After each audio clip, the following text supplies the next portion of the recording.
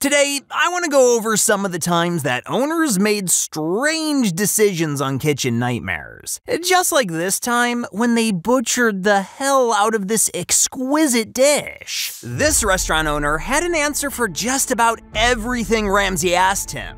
My biggest fear is is the chicken. It just it doesn't it doesn't happen in here. And that's just one of the most controversial moments from the new season of Kitchen Nightmares. There were tons of issues at this place. First and foremost being, Bel Air Diner was the kind of place that had the audacity to pick an exquisite dish and butcher the hell out of it. I'm talking about the coq vin, which is usually a feature on the best fine dining menus, and for good reason. There is nothing simple about this French delicacy. In fact, having something as exotic as coq vin on a diner's menu is controversial in and of itself especially if even your staff hasn't heard of it before. Coco van? Say again? The coco van? Cocoa is something you drink at night. Coca van. Coco van. Now, brothers Cal and Peter had taken over the restaurant from their parents, who'd owned it for 25 years. Cal stepped up to handle the kitchen, while Peter took care of the front of house, or at least that's what it said on their resume. But despite the separation, they still had plenty of time to fight, to the extent of going months without talking. Now, here's something intriguing. The parents might not have known about the show being Kitchen Nightmares when they initially signed up for it. So, did nobody care to explain to them what was about to happen? Or did the brothers barely ever talk to their parents? Well, there's plenty to speculate about, but I found this Facebook post talking about the episode where Patty said, They told us it was a renovation show, then at the last minute it turned into Kitchen Nightmares. Patty signed off casually with her name and mentioned that it was all good and even fun to do. I mean, considering Ramsay and the team gave the restaurant the facelift of a lifetime, I can't see her getting mad about it. Anyway, coming back to the episode, the Bel Air Diner might have thought that having a huge menu made it more appealing. But in reality, it was one of the reasons it was going downhill. Ramsay put it best. The menu could rival an encyclopedia. And adding items like coq au wasn't helping them either. Speaking of, Ramsay had a pretty good way of putting that too. First time for me. Coq au vin in a diner. Like, seriously, what could go wrong, right? Well, a lot more than you'd expect. Oh my god, that is a slurry of... Why would anyone attempt to do something so fine dining you a diner? The chicken wasn't even freshly cooked. The portion size was too big, and the chef absolutely butchered it. So, Ramsay had a suggestion. And the coq au vin, someone needs to go back to France. I'll pay for the flight. No good. But guess what? Cal was just as confused. Coq au vin, coca coq au vin. I'm not really sure how to say it. So, why have it on your menu at all? Anyway, this is when Ramsay noticed there was one person missing in the restaurant, and that was Peter. And where was he at? Well, He's at his fiance's place, another restaurant. yeah, Peter was supposed to be helping run the place, but apparently he thought chilling at his fiance's was a better use of his time. What's even more shocking is that he was still getting paid. Cal revealed that their parents insisted on giving Peter a $50,000 allowance every year from the diner's earnings. For doing absolutely nothing, apparently. Meanwhile, Cal had his own family and a baby at home and was practically living at the diner. Not hard to believe it was taking a toll on him. I sleep here. You have a baby at home, young man, and you sleep here? Poor guy. Yeah, he had to have been feeling trapped. And when Peter finally bothered showing up, Ramsay couldn't help but spot the fancy Rolex on his wrist. And walking into your mum and dad's restaurant with a nice big chunky Rolex on, why aren't you feeling better than that? I don't know. You don't know. Okay, so this guy clearly had an attitude problem. I'm not crazy for pointing that out, right? Well, either way, Ramsay had his work cut out for him. Putting the family back on the right track was just as important as slimming down the menu to just one page. When Ramsay rolled in later that day, right off the bat, he spotted some food on the pass that wasn't looking quite right. He turned to Archie for an answer, who had this to say. Is this what you opened 25 years ago? This? No. No. Well, points for honesty. Later, Ramsay sat down with a customer to get some feedback. Turns out, the cheese on their grilled cheese sandwich wasn't even melted properly. Ramsay offered to take it back to the kitchen, thank God, but it was pretty clear that the place's standards had taken a nosedive. These guys need to wake up quickly, huh? Hits the. Now, before we follow Ramsay down into the basement, and believe me, you're gonna need this second to get ready for it, here's something you should know. It was once seen as the landmark of Astoria, and it served some pretty famous people like Jerry Seinfeld and Howard Stern in the past. So, at a place that rubs shoulders with legends, you'd expect at least halfway decent hygiene, right? Is this for real? Well, turns out in October 2022, the city got involved and shut them down because of pest conditions. They reopened after a thorough cleaning, but what Ramsay saw honestly makes me wonder what the point of it was. Plus, Ramsay didn't even know what half of the stuff was. There was pastrami cozying up next to chicken, wet, stinky chicken at that. Even the chicken's frothing at the mouth. And it's dead.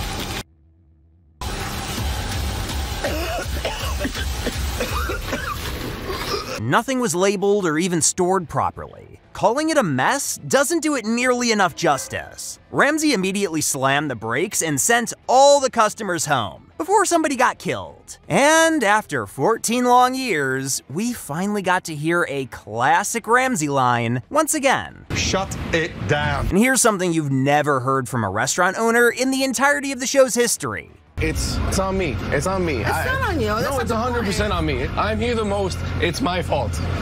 All of this. That was honestly pretty mature, right? But getting on the same page is only half the battle. To be a hit, any restaurant worth its salt has to figure out how to get everyone working together to serve up great food consistently. But you know what's strange? They didn't show us another look into the basement after the renovation. Viewers, potential customers no less, had to know whether they cleaned the dungeon or not. Because honestly, after seeing that catastrophe, I'd need some pretty big assurances to go anywhere near the place. Bel Air took matters into their own hands and posted a little something on their Instagram to show off the changes they made. Still, not everyone was convinced. They also posted this meme saying they got rid of their infamous Coq Vin. They also posted a video thanking their patrons. It's not easy having people see us at our worst. Obviously, a lot is exaggerated for television, but having Gordon yelling at us gave us a jolt to improve and implement better practices. But what about the customers? A person with the username Road to the Snow took to Reddit to share their experience after the show aired. He wrote, Went there yesterday morning to see if the owners really changed their ways. Place was empty, except for one older man having a coffee at the counter. But behold, the old menu is back. a tale as old as time. A bunch of Yelp reviewers weren't too thrilled either. One person ordered takeout to celebrate the episode and ended up with bacon, even though they couldn't eat pork. And what was the restaurant's response? Be happy you got free bacon. God, I don't even know where to begin on that one. Another customer had a bit of a health scare, claiming they were served chicken that was completely pink at the center. So, what does this mean? Have things gotten worse at the diner? If someone's in the neighborhood, pop by and let me know. I'm genuinely curious. Anyway, let's keep rooting for them. Changes take a little time. We can only hope they take the customer's feedback seriously and start moving in a better direction. But while I was doing my usual pre-video research, I came across this post. It read, Gordon will not be there, thank God. His food does not compare, and he is a complete asshole. Huh. But who is this Steve Baskinger? Turns out he's the co owner of Bask 46, the restaurant that featured in the second episode of the latest season. Guess I could have figured that out from the name, huh?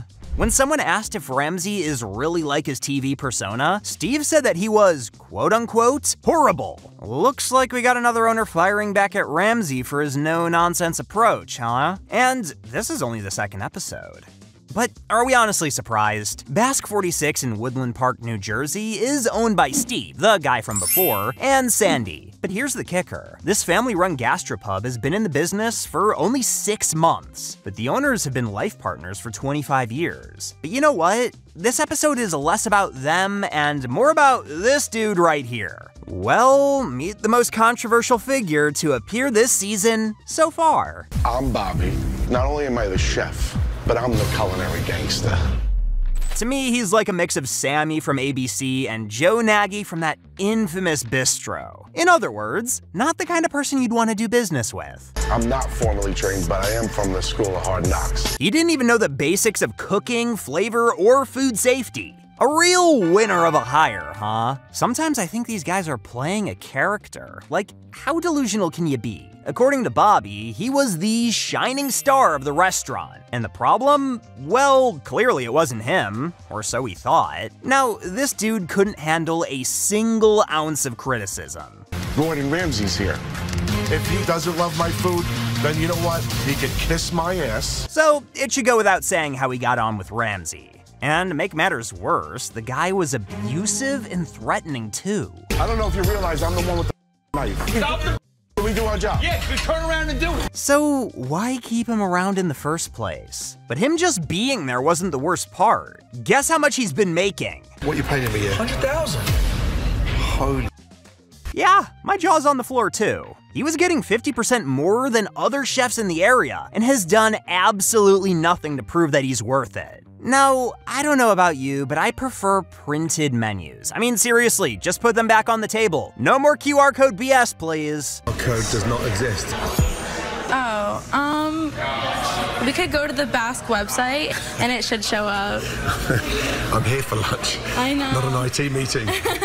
They are and will always be a complete hassle. But complaining aside, let's get to the service. Every dish seemed to come with a chive stock as a garnish. A bit excessive, right? As for the mac and cheese, it was more like mac and grease. It had a ton of raw onions and a big old dollop of store-bought sauce on top. The wings were a train wreck and the tacos were completely overloaded. The portions were so massive that they were more overwhelming than exciting. But once the food was returned to the kitchen, Bobby decided to retaliate. He's probably got a small package, and that upsets him, so he wants to take it out into my tacos. I've never seen someone expose themselves like this. It's gotta be the worst case of projection I've ever seen. And get this in his LinkedIn bio, he advertised himself as an employer's dream employee, more like an employer's nightmare. And there's more. He wrote, My personality and hospitality is what separates me from most candidates. You say that, buddy, but this is you, right? Who's this for? Mr. Ramsay. Okay. Take it and shove it up your.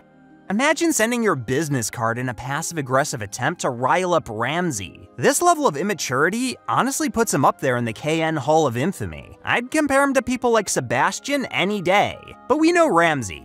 He always knows what to say. Fortunato, otherwise known as culinary gangster. Right. There's a spelling mistake. Bobby Unfortunato. Need he say more? What made this entire situation even more controversial is that the owners who were working there seven days a week weren't paying themselves a salary. On top of that, they were losing $15,000 a month with Bobby and the team of cooks he personally hired. Yep, he had five line cooks working for him. Outrageous, right? Anyway, we've all heard the term fresh frozen in kitchen nightmares before, but you aren't ready for this. Maybe partially homemade. You can't partially. That's how he described his famous cheese sauce, his specialty. Cheez Whiz.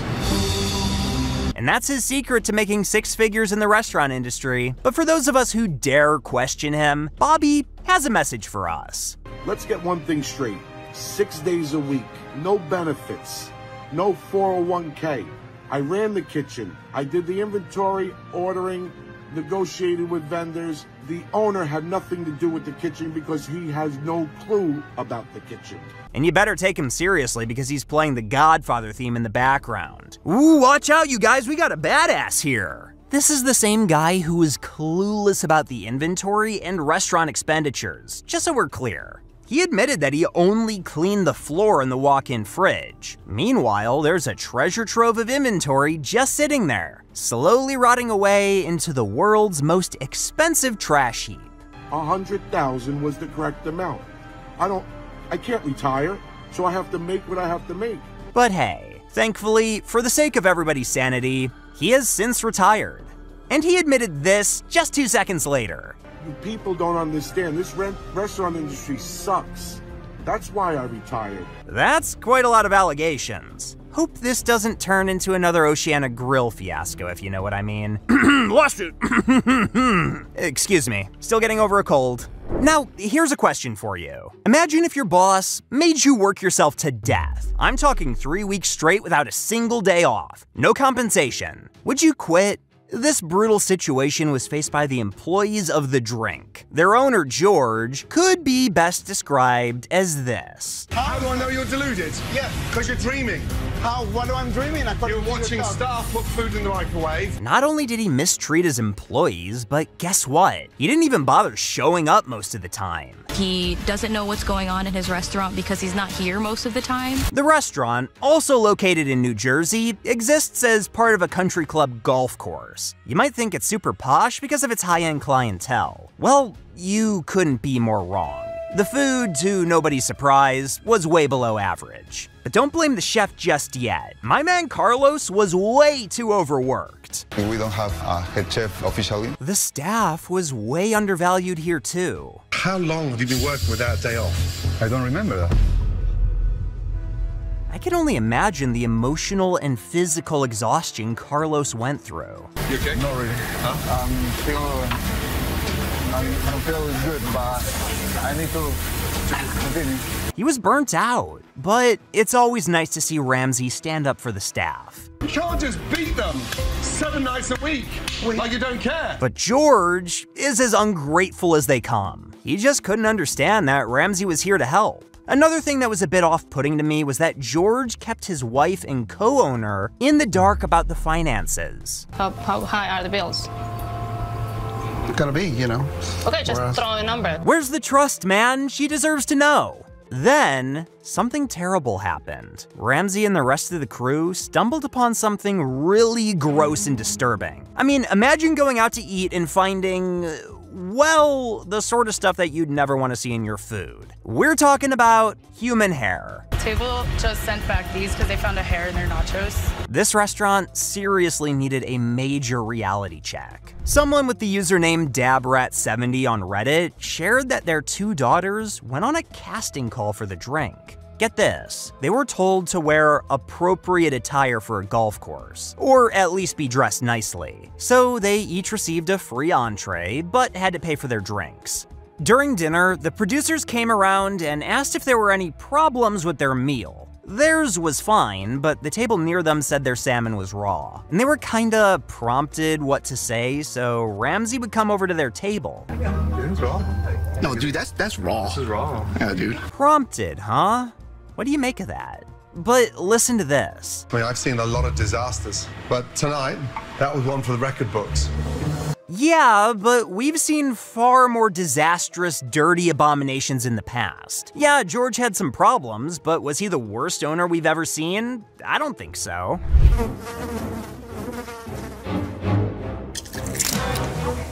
You're with the culinary gangster. Be careful how you approach me. What's going on here? On the food, they sent it back. Smell it!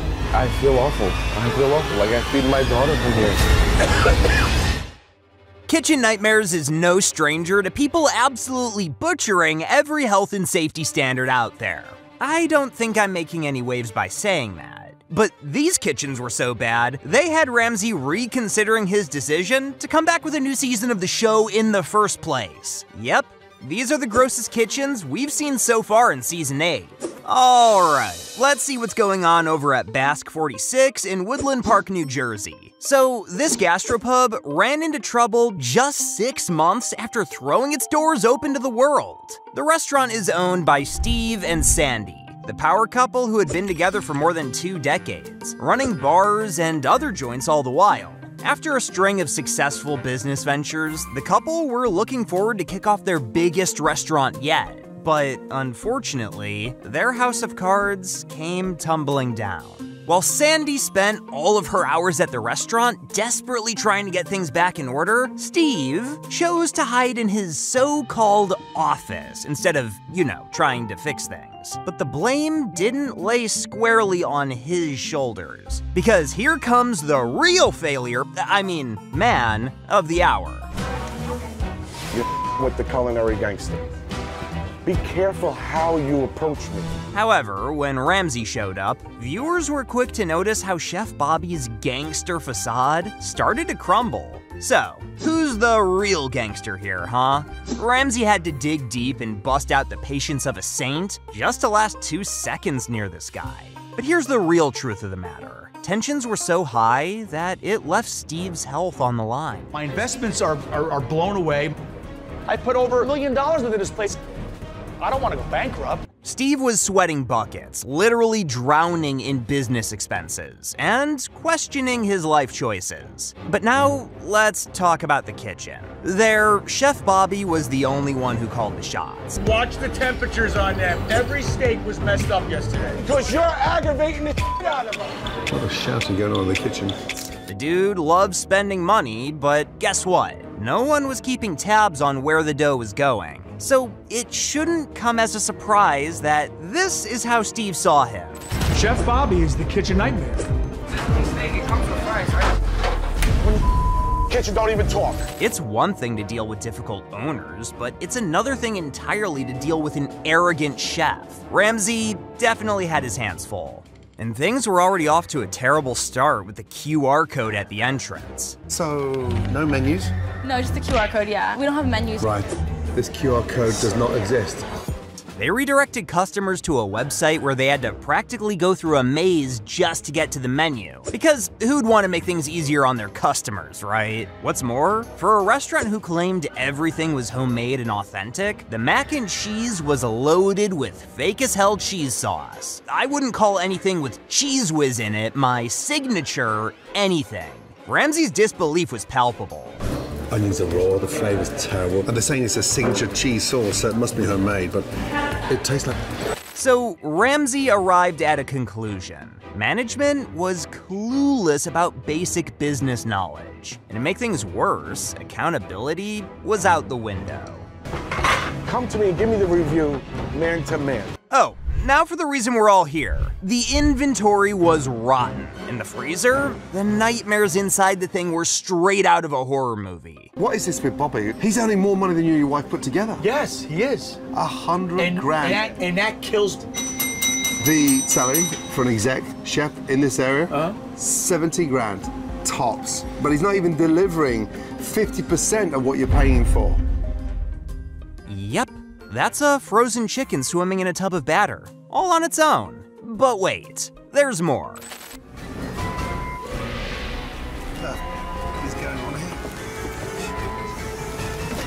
Man, that chicken must have stunk to high heaven for Ramsay to have reacted like that. Not even the fruits or veggies were spared from the aura of decay sitting over the place. And well, Ramsay was left with no other option but to shut down the restaurant, for obvious reasons. And then, it was time to lay down the law. Ramsay ordered them to clean up their act, literally and figuratively.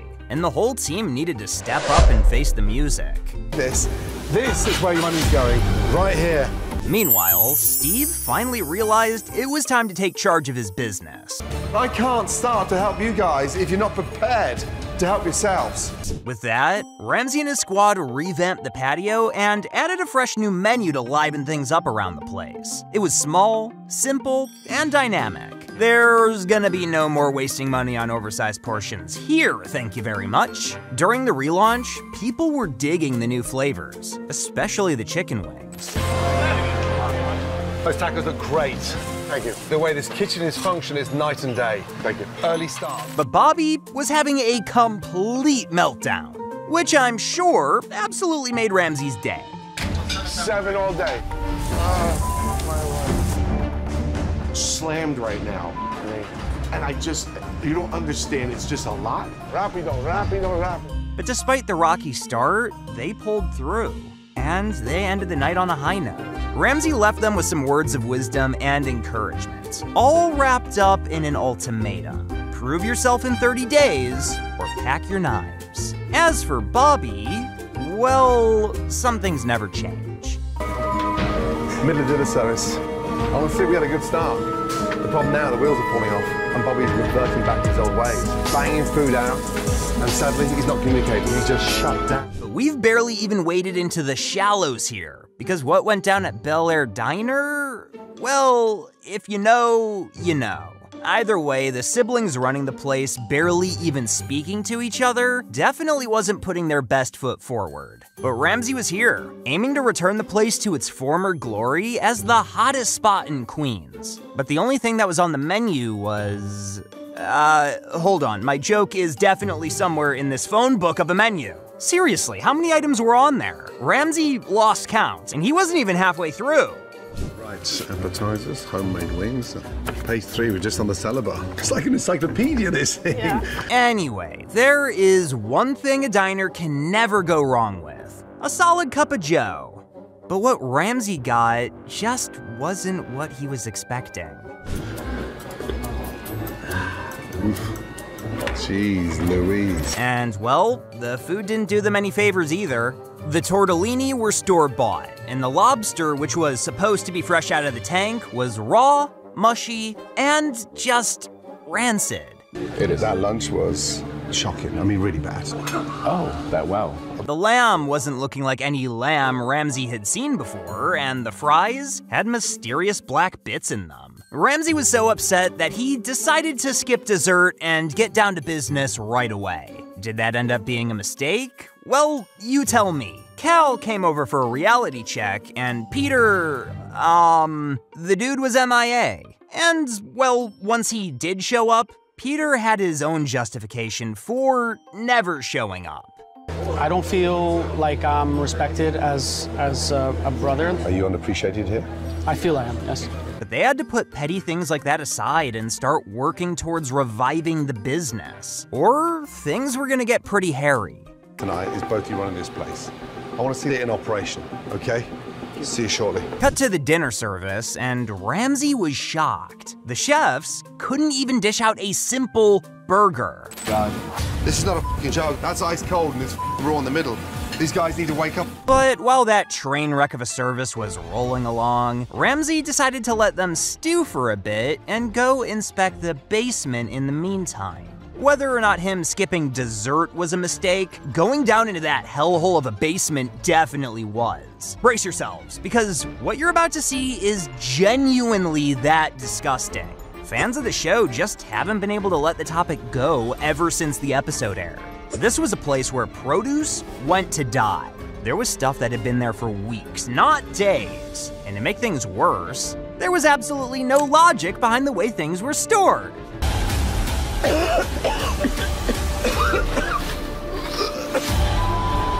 Like, honestly, it was a legitimate death trap. They should have been handing out hazmat suits to anybody who walked by on the streets, let alone dared to walk into the restaurant. But Ramsay put it best, calling the place a ticking time bomb. Now, did you see the chicken? It was just casually chilling in that nasty, slimy water like it was no big deal. And those meat trays, wide open. And who knows how long they'd been sitting there, exposed to the elements. But the oil, oh boy, the oil. Ramsay wasn't kidding when he said it was a ticking time bomb. The place could have gone up in flames at a moment's notice with all that grease caked up in there. So Ramsay had to act fast before they literally blew everybody up. All off. All off. Shut it down. That's got to be the worst. It was time for the brothers to take responsibility. You can't just keep passing the buck and expect things to magically turn around all on their own. At this point, the fate of the restaurant was at stake. Ramsay took the opportunity to make that abundantly clear. The practices down there are shocking. And I'm talking produce that is gone. Weeks gone. Not days. The place was quite literally their family's lifeline. It It was time they paid more attention to what had been going on there for all their sakes. Smell it! I feel awful. I feel awful. Like I feed my daughter from here. Ramsay wasn't gonna leave without setting them straight first. He asked the brothers to bury the hatchet and work like a team. The dream was to pass on their legacy, but it seemed like they were losing sight of it. We're building this business three decades ago. It was your dream to pass this on. Ramsay then decided to show them the ropes of how a real well oiled restaurant runs. And to do this, he took the brothers over to Times Square to show them how things should be working efficiently and effortlessly. And hygienically, let's not forget hygienically. Fast forward a bit, and the diner had a whole different vibe. A retro look, making the diner shine. The decor was fixed, the menu was trimmed down, thank God, and Ramsay kicked things off. It was time to rock and roll. New $18,000 Synesso espresso machine. However, during the dinner service, the kitchen hit a roadblock almost immediately, and Ramsay wasn't thrilled. What's going on here? It's raw. Hey, it's raw. Finally, Peter stepped up, and Cal handled the front of house, eventually managing to finish strong. Generation. You want something else? I can get you something. Giving mum and dad a well-earned retirement. Not a bad start to a whole new story, eh?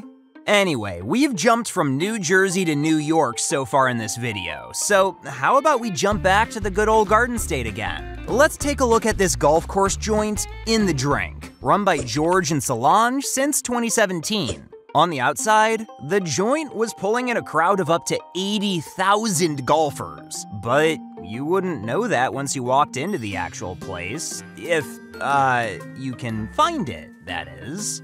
Where the hell's the sign? In the drink. I'm in the dark. Is, is this it? It's a gloomy vibe all around, in the decor? There was no decor, actually. I was just admiring your patch. My renovation, you like that? Do I like it? What do you think? It looks stupid.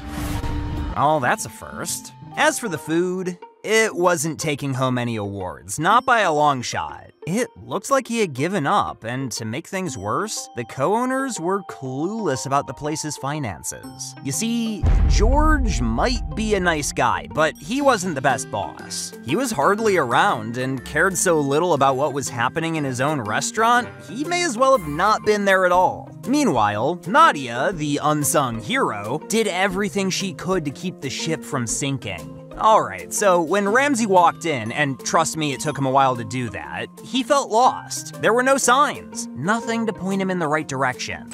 Oh dear. This place looks bleak. Sat down for a taste test, and this is where the actual drama began.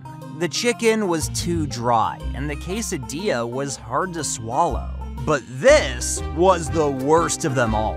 On the food, they sent it back. Oh my god. But I'm not even done yet. Caesar salad, bland. Burgers, overcooked. I didn't even think it was possible to be more disappointed, but here we are. Meanwhile, the staff was just watching the meltdown unfold. It was like a train wreck they couldn't look away from. So, Ramsay had been around this place for over an hour, and there was still no sign of George. Nobody knew where he was at, but turns out he'd been chilling in his office the whole time. Any news of the owner? Yeah, so I just texted George, and apparently he's been here in his office the whole time. And when they finally met, he had to get him on the same page real quick. The best thing about this restaurant Yeah, is the service. great. Food was terrible. But George was in denial. I mean, how bad could it be, right? But Ramsay was having none of it. How can you say that? I mean, we do have a good food. Where is the good food?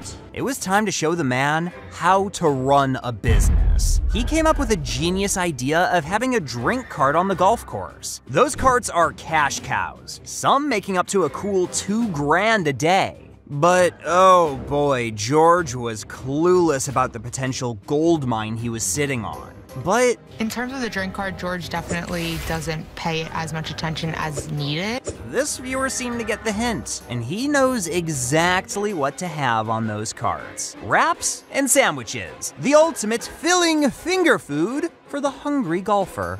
I hope you're taking notes, George. Anyway, Ramsay was back at the restaurant, ready to see how the place functioned during a busy dinner service. I, for one, was wondering how they were planning on actually getting butts in seats in the first place, but guess they figured it out somehow. George claimed that he was the expediter on most nights, but you've gotta see how his staff reacted to that claim. Here, most nights expediting, my jaw dropped. That is a complete lie. Methinks we have a liar amongst us.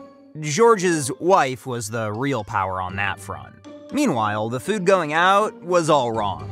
The sliders were too salty, the chicken not cooked, and the salmon may as well have still been alive. Soon, the kitchen was drowning with orders, and the ticket times were completely off the charts. When the food started coming back to the kitchen, Ramsay lost his patience, and George's so called expediting skills were almost non existent.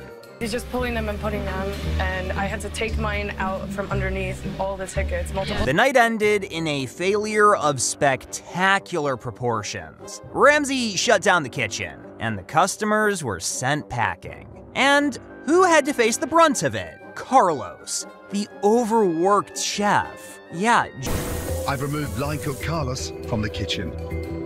He was beyond burnt out. Right now, George definitely wasn't taking the blame. When Ramsay confronted him, he simply lost it. You don't understand. You're not listening. I don't understand. You're not listening. But hey, hey, hey, Ramsay came back with a plan. He had a new trick up his sleeve, and he was gonna hit the golf course again. Of course, with the food. Yeah, the on the golf course and really maximize on potential food sales. These carts could bring in half a mil a year, and George was sitting there in disbelief. What's more, after the crew worked their magic, the place went from looking like a funeral home to rivaling a legit country club. And the menu, finally, finally, pretty good. Have a beautiful clubhouse restaurant. We need the foods to be in keeping with the restaurant. No more boring combo platters. Ramsay brought in the big guns with honey glazed wings, sliders, burgers, and chicken Caesar wraps. The taste test went off without a hitch, and the kitchen was ready to rock it. Then came the big night, where they needed to put that food in front of real customers. George was playing waiter, but you could tell that the dude had never worked anywhere near the hospitality industry before. The dude just needed to sit down and shut up, in my opinion. Meanwhile, the kitchen was rocking it. Thank goodness for that. In the end, Ramsay left with a strong message for George. The man needed to trust his team, delegate, and embrace the change. It was time to turn things around. Fast forward a bit, and In the Drink was swarmed with customers. George was finally able to settle a few debts, and Nadia, now the manager, was running the show like a boss. As for Chef Carlos, he was living the dream with some well deserved days off. And Ramsay's recipes? Well, I don't think I need to tell you how good his cooking is. This restaurant owner stirred up a storm after she did something absolutely insane. You did enforce a legal letter threatening to sue someone using that. Yep, she decided to sue her own customers. Well, step into the world of Denise Whiting's Cafe Hon, where insanity is just another part of everyday life. From victim playing to boasting one of the biggest egos I've ever seen, let alone on the show, Denise became the target of an entire town. They all hated her. But why? Well, let's take a trip down to Hampden, Maryland just a hop, skip, and a jump from Baltimore, where we'll come face to face with Cafe Hon. Now, you might be wondering, what's so special about this joint? Well, it's all in the name Hun. Yeah, you heard me right. Hun is like this town's secret code for friendliness. So when Denise opened her restaurant back in 92, she made sure to put that sign of universal hospitality in the name. I mean, sure, why not? Seems like a smart idea. But it turned out to be the root cause of all the problems the restaurant faced. You see, business was booming, and Denise had some really big dreams. So she decided to cash in on Baltimore's favorite word of endearment in more ways than one. She not only trademarked Cafe Hon, but the word Hun as well. Yep, she went ahead and trademarked not only the name of her restaurant, but also the word Hun itself. and the locals went absolutely insane about it. Now, back to the restaurant itself. One of the servers, Janet, had quite a bit to say, and I don't think you're ready to hear this. She wanted to sell her mugs, her t shirts, her little knick-knack things. Yeah, Denise came up with the not so bright idea of using her newly trademarked word, hun, on just about everything from mugs to t shirts and put them all up for sale. Oh boy. It looks like she had just declared war on anyone who dared to utter the word hun without her permission. And yeah, that move didn't help her case either. Denise had Baltimore behind her, and then she announced that she trademarked Hun, and that ticked off a big portion of Baltimore. Suddenly, Denise became the final boss of Baltimore, and her lair, I mean business, was tanking faster than you can say Hun. Now, this is where it gets even juicier. Denise was frustrated, but what she did next stepped over the line. Since all this has started, Denise has taken out her frustration on her staff. She was laying it on thick with her staff, and they were under a lot of pressure. Greg, the head chef, believed that when a leader can't give clear direction, the food is gonna come out of the kitchen tasting like cardboard. This is what we call in the business foreshadowing. She's gonna run us down to the ground, and if Chef Ramsay doesn't come in, we're screwed. When Ramsay arrived in Baltimore, he got wind of the unusual rift Denise had with her clientele, and so he decided to do a little research on his own which landed him at the radio station of all places. He was here with a single minded goal of untangling the wild web of drama that had engulfed Cafe Hon. And this is what he found out. I've only eaten there two or three times, but the food is uh, is on the back burner.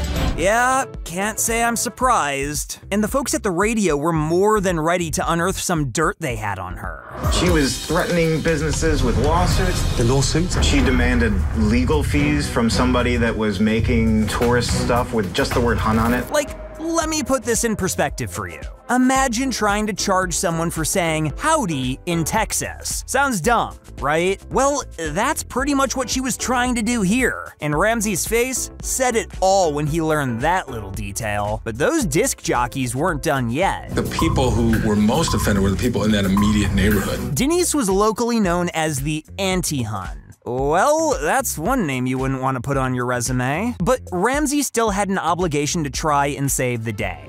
But when he finally laid his eyes on the place, his reaction was pure gold. Look at the size of that thing.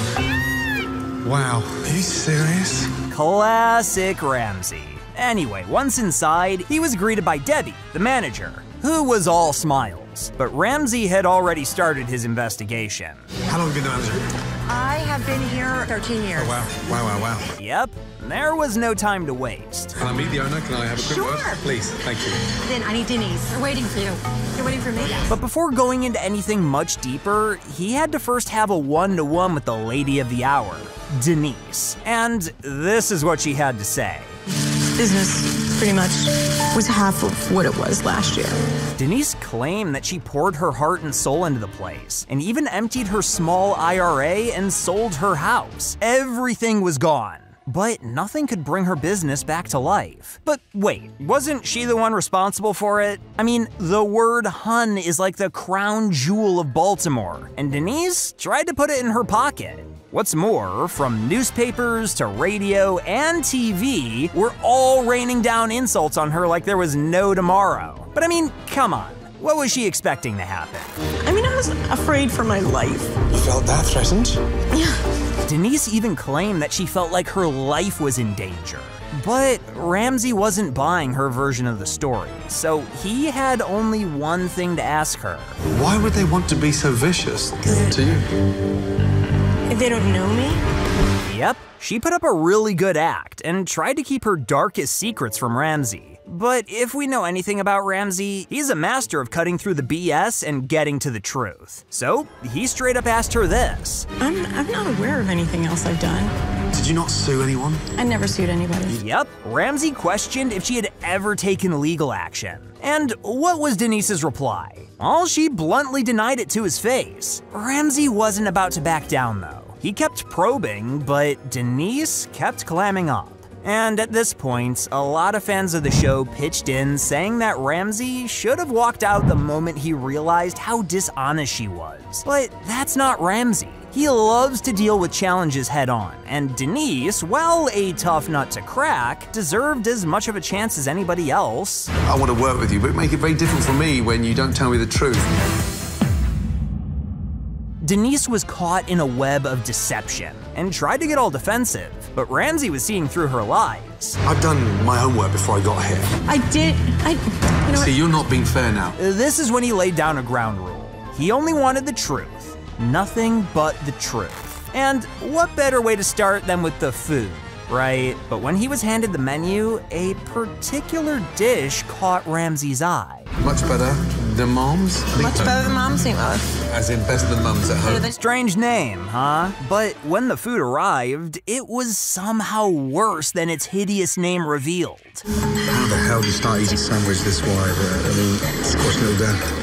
Oh boy. We're really in it for the long haul here, huh? What followed next was a bunch of stone cold shrimp that tasted like they had been partying in the fridge for over a week. But surprise, surprise, Denise masterminded the menu, and she thought everything she was serving was perfect. Denise never thinks she's wrong. This is perfect. According to her, if something was on the menu for 20 years straight, it had to be good. To me, that reeks of, we've tried everything and we're all out of ideas. But hey, you do you, girl. Anyway, Ramsay wasn't impressed, and he could see from a mile away that Denise was the problem. Meanwhile, back in the kitchen, there was a whole different story brewing. Go through the kitchen. Let's go say hello and meet everybody. Hi, guys. Hello. Ramsay first met Emily and Greg, the head chef, and started to school them on comfort food. I mean, there was nothing comforting about this, that's for sure. And when I think of comfort food, I think of meatloaf and excitement. That's bland. Ramsay was looking forward to getting some honesty for once, and that's when Denise served him some on a shining silver platter. Season them and taste them before they go out. We do not season the fries. You don't season fries. No, we don't. Yep, they never season their fries. Hey, here I thought my it's always the seasoning catchphrase only applied to Hell's Kitchen and MasterChef. Way to prove me wrong, Denise. The chefs here had absolutely no control over the food. Denise ran the entire show, and it was either her way or the highway. And guess what? Her overbearingness made the chef hate his job, and he didn't think twice before throwing her under the bus. You know, it's always, oh, I don't like it like this. You know, we. Who doesn't like it? Denise. Denise had issues, both inside and outside the restaurant, and at this point, Ramsay was surprised they were still open. Denise stood her ground though, determined not to let anyone, including Ramsay, slow her down. So I guess she meant every word when she said this. I'm not to let anybody get in my way, including Chef Ramsay. Meanwhile, Baltimore was buzzing with the news that Ramsay was in town. And that evening, Cafe Hon's dining room was packed to the brim during rush hour. Leave it to Ramsay to help an entire city overcome their differences with a restaurant to get butts in seats, huh? But the only thing they were getting that night was drama a la Denise. Out of nowhere, she stormed into the kitchen shouting instructions. Debbie, I need your attention. Hello? Yes. This is asparagus, all right? Orders were piling up faster and faster. In the kitchen, well, it was in utter chaos. Plates of chicken were swimming in grease, and customers were sending them back almost as fast as they were going out. Then Denise pulled the ultimate move. She 86'd the entire menu. It was like watching a magician make dishes disappear. Abracadabra, and dinner's gone. 86 biscuits, you guys. They don't like it. 86 the pot pie. 86 the catfish. As for Ramsay, well, he was exasperated with the whole ordeal. I swear to God. Looking for answers, when Ramsay had a chat with Greg, he revealed that this sort of thing was pretty common around here. And that wasn't all. No, there was still more. Gordon Ramsay has got to get through her thick skull. If she doesn't take his advice, we're not going to make it. You can almost feel their frustration through the screen. If Denise didn't change her ways, this place was doomed. And for the first time ever, Ramsay hit a roadblock. I, I, I don't know where to start. I'm sorry. But eventually, after stepping out for a breather, Ramsay was back, and he was back with a vengeance. Is a clear direction, and restaurants run from the top. Denise was speechless, and for once, she seemed to be unsure of herself. But teaching her was gonna be a problem. Like, you can't exactly teach a cat how to bark. But will Denise finally get her act together? Or was Cafe Hon a dead restaurant walking? Well, Ramsay was determined to get to the bottom of things, and that meant he had to give Denise a reality check. To do this, Ramsay gathered the staff for a meeting before Denise arrived and urged them to be completely honest with her about everything. And, well, he didn't need to tell the staff twice. Denise, you, um, you're a rude bitch. They absolutely tore into Denise's reign of terror. With the employees, you're talking to them like Denise, you're the negative in the restaurant. And guess what? When she wasn't around, the joint actually ran pretty smoothly. But the moment she stepped in, everything went down the tubes. She micromanaged like it was nobody's business. And her favorite term was 86ing everything on the menu. Fish and chips, 86th. Steak, 86th. Burgers, believe it or not, 86th. But why didn't anyone stand up to her? Well, the answer to that is easy.